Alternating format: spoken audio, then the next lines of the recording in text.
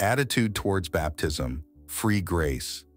Views baptism as a symbolic act of obedience and identification with Christ, but not necessary for salvation. Protestantism. Views on baptism vary, with some practicing believers' baptism as a public declaration of faith and others practicing infant baptism as a sign of covenant inclusion.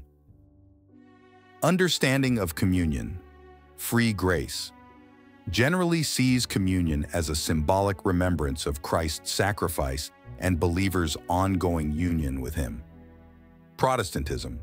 Views on communion range from symbolic to sacramental, with some denominations emphasizing the real presence of Christ in the elements. View of the Church, free grace, emphasizes the universal church, comprised of all believers, with less emphasis on denominational structures. Protestantism values the local church as a community of believers, with varying degrees of emphasis on denominational identity and structure. Concept of eternal security. Free grace teaches the doctrine of eternal security, affirming that true believers cannot lose their salvation once genuinely saved. Protestantism. Views on eternal security vary, with some denominations affirming it, particularly Calvinist traditions, and others holding to the possibility of apostasy. Role of repentance. Free grace.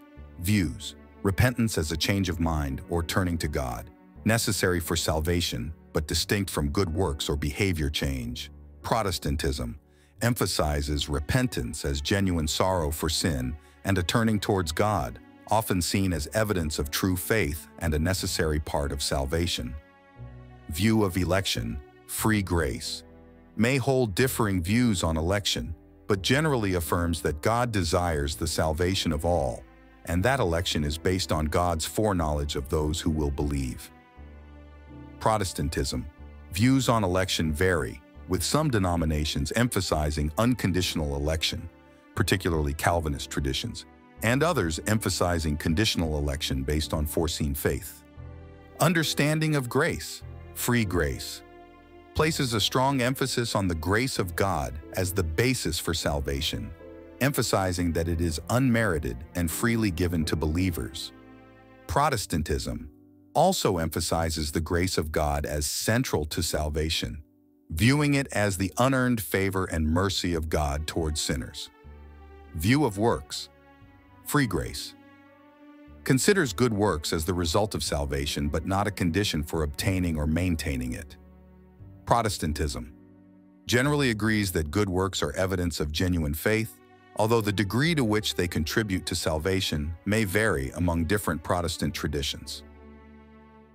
Role of the Law, Free Grace teaches that believers are not under the Mosaic law as a means of righteousness or salvation, but are under the law of Christ, which is fulfilled through love. Protestantism. Views on the role of the law may vary, with some emphasizing its moral guidance for believers and others emphasizing its fulfillment in Christ. View of sin and redemption. Free grace views sin as forgiven and redeemed through Christ's sacrifice, with believers declared righteous before God by faith alone. Protestantism also teaches redemption through Christ's sacrifice, but may differ in emphasis on the ongoing need for repentance and sanctification in the believer view of salvation. Free grace emphasizes salvation as a free gift of God's grace, received solely through faith in Jesus Christ, without any works contributing to one's salvation.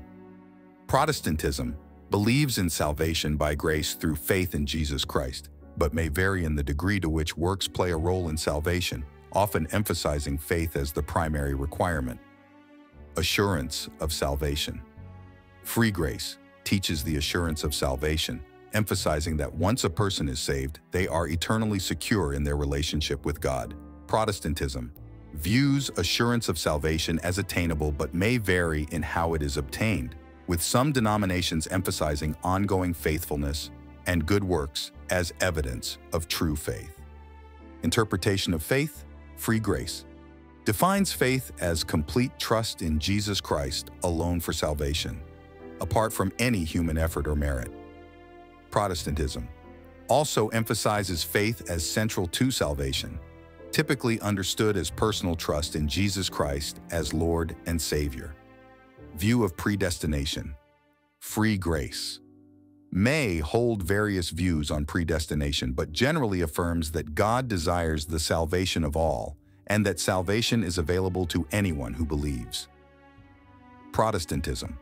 Views on predestination vary widely among Protestant denominations, with some affirming unconditional election and others emphasizing human free will and God's foreknowledge.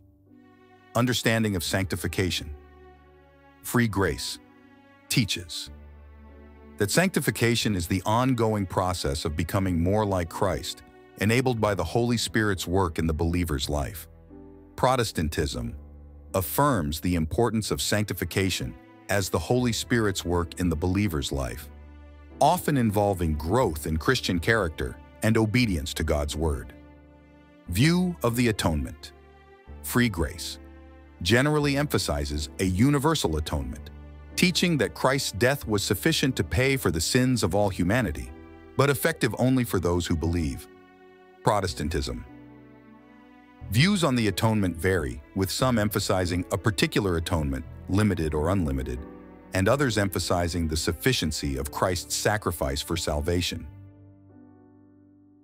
Free grace theology emerged within Protestant Christianity, particularly within certain evangelical and reformed circles during the 20th century.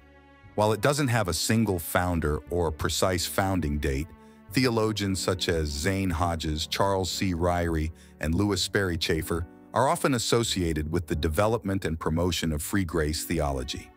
The key ideas of free grace theology, emphasizing salvation by grace through faith alone and the assurance of eternal security, have roots in the Protestant Reformation and the writings of theologians like Martin Luther and John Calvin. Protestantism Protestantism originated in the 16th century as a movement protesting against certain practices and doctrines of the Roman Catholic Church.